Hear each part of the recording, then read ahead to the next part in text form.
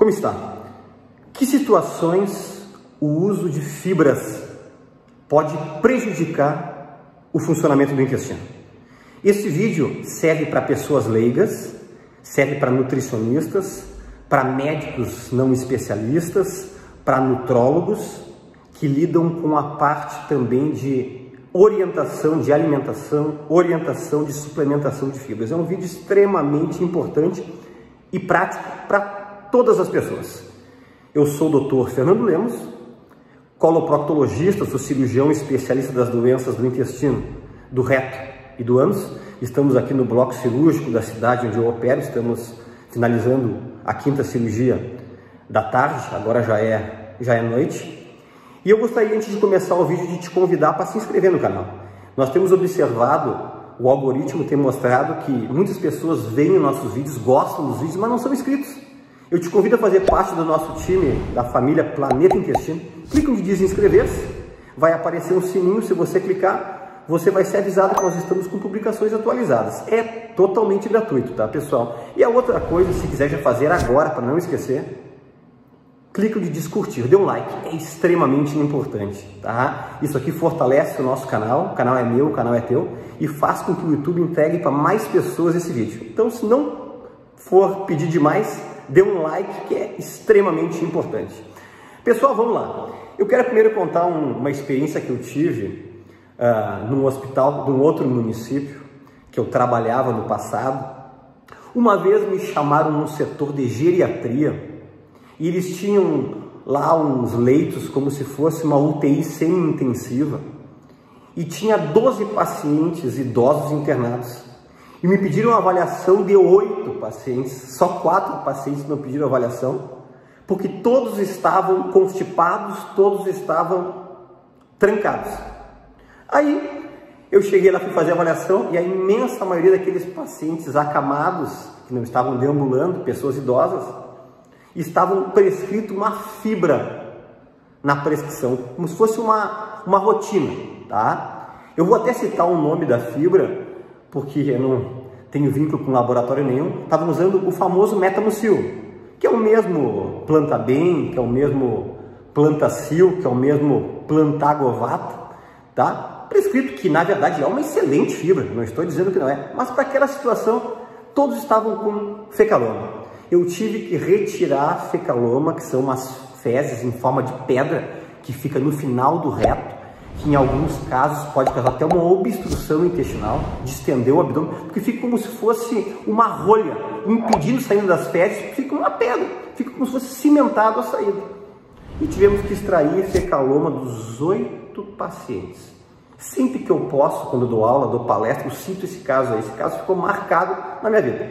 Aí eu chamei o, o chefe do serviço da geriatria que estava lá e eu expliquei para ele: o grande problema é que vocês estão prescrevendo de rotina para paciente acamado que não está deambulando e paciente idoso fibra.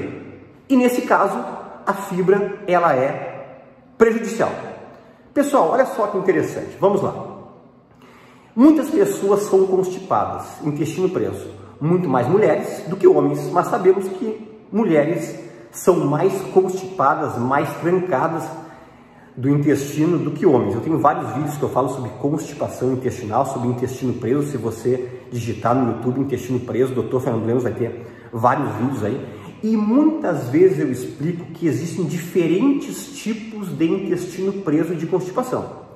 E nos casos que o intestino preso é por causa do bloqueio defecatório, se você usar fibra, vai piorar. Inclusive os pacientes chegam e dizem, doutor, hoje teve um caso de manhã, até foi o que me estimulou eu fazer esse vídeo hoje. Doutor, eu comecei com essa fibra que tal médico me passou e notei que a minha constipação piorou, porque o problema dele era bloqueio defecatório, ou seja, o problema na saída do reto canal anal e ânus.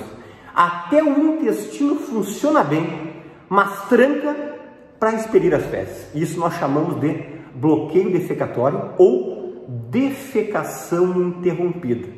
Então, primeiro de tudo, quando chega um paciente constipado com o intestino preso, não é sair, pessoal, abarrotando de fibra. A primeira dica que eu dou é encaminha para um coloproctologista para nós podermos fazer uma avaliação se o problema não é o bloqueio defecatório. Como é que se avalia isso, pessoal? Na, no próprio exame no consultório, no exame proctológico de rotina que a gente faz a inspeção, o toque, a anoscopia, a retossigmoidoscopia que eu faço de todos os meus pacientes na primeira consulta, muitas vezes eu já posso notar algumas coisas. Por exemplo, retocele, que é uma hérnia do reto em direção à parte vaginal em mulheres pós-menopausa é muito comum. É muito comum também isso em mulheres múltiplas que tiveram vários filhos. Tá? Outra coisa chama-se intussuscepção retanal, que na verdade é um prolapso mucoso do reto sobre ele mesmo, ainda não prolabou para a parte de fora do ânus. Na verdade, quando a pessoa faz uma força, esse reto desce e faz como se fosse um bloqueio para as fezes não conseguir sair. Sai um pouco, o resto das fezes ficam para dentro. Isso nós chamamos de intussuscepção retanal. Existe também uma coisa chamada sigmoidocele, que é uma angulação de uma parte do intestino grosso chamado sigmoide, que pode ser angular também com o passar dos anos, ou mulheres que foram muito constipadas ao longo da vida. Outra coisa chama-se enterocele, que é uma angulação, uma descida do intestino delgado em direção à pelve, que é a parte bem baixa do abdômen. É bem comum em mulheres que já tiraram também o seu útero, esterectomia. Aí tira o útero, o útero sai lá globoso e não pode ficar aquela cavidade vazia. Aí muitas vezes o intestino cai ali para dentro causa essa enterocele. E isso que eu citei, olha só, tem alguns exemplos, ó, retocele, sigmoidocele, enterocele, intussuscepção retanal, são coisas que causam a defecação interrompida. Mas que exame que pode ser pedido para avaliar de forma mais precisa esse bloqueio defecatório? Chama-se defeco-ressonância. Na verdade, é uma ressonância que vai simular a pessoa defecando após uma injeção de contraste na parte do reto. Hoje em dia tem umas ressonâncias que não precisa fazer o uso de contraste, que consegue eliminar até mesmo se tem fezes ali presentes para não dificultar a interpretação do radiologista que vai fazer toda a movimentação dos esfíncteres, interno, externo, o músculo pubo-retal, todo o assoalho pélvico, que vai mostrar se existe esse bloqueio defecatório ou não. Então, primeiro de tudo, pessoas com bloqueio defecatório, que o problema é na saída, na eliminação das fezes, não podem usar fibras. Eu já vou dar uma dica assim, ó, antes de fazer esse exame, ou antes de passar pelo colo proctologista. Uma pessoa que é muito idosa, uma pessoa que teve muitos filhos, uma pessoa que tirou útero, não sai prescrevendo fibra de primeira, que pode ser que vai mais prejudicar do que ajudar. Olha pessoal, vou chutar por baixo assim, ó. Talvez uns 10, 12 casos por semana na minha clínica privada de pacientes que chegam e dizem, olha, eu estou usando uma fibra que foi prescrita e doutor, eu estou prejudicando demais o funcionamento do meu intestino.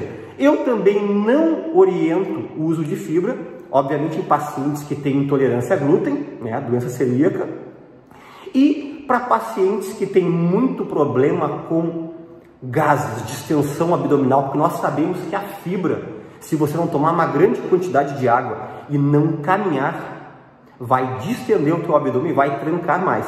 Então, quando eu prescrevo fibra, e eu prescrevo para muitos pacientes meus que têm indicação de uso de fibra, fibra é excelente, mas tem que saber para quem prescrever. Mas eu sempre falo muito da ingesta hídrica, né? O meu 600 ml de água de manhã em jejum que eu preconizo para o mundo todo, né? E depois você ingerir água ao longo do dia, pega o teu peso e multiplica por 0.03. O teu peso multiplica por 0.03 que você vai saber a quantidade de água que você tem que ingerir ao longo do dia. Tá? Eu sempre digo que é fundamental a fibra com a água e com a caminhada.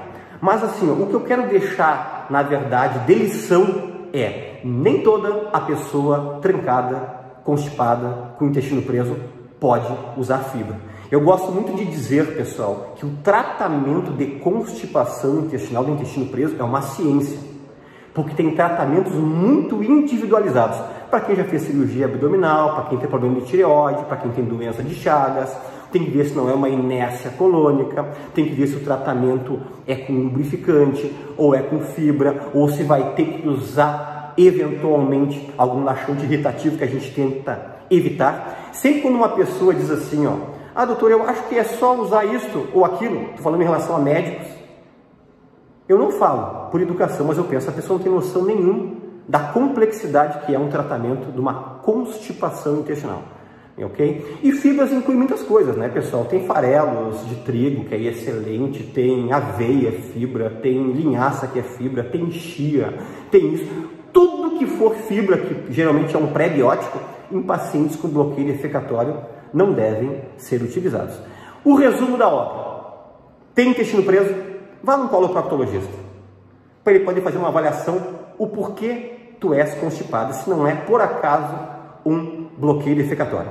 Pessoal, na descrição do vídeo aqui tem um, um, grupo do Telegram que também é gratuito, se você quiser fazer parte, eu te espero lá. E uma coisa bem importante, não se esqueça disso. Nós temos uma página no Instagram chamado dr.fernandolemos. Doutor.fernandolemos. Siga lá. Eu trago dicas diferentes do que eu trago aqui no YouTube, até nós respondemos mais perguntas lá no Instagram do que no próprio YouTube. Eu te espero lá, ok? E até um próximo vídeo. E se puder, compartilhe, porque esse vídeo compartilhado vai chegar em mais pessoas e nós vamos beneficiar pessoas que estão sendo prejudicadas por uma suplementação de fibra e tem esse problema do bloqueio defecatório. Até!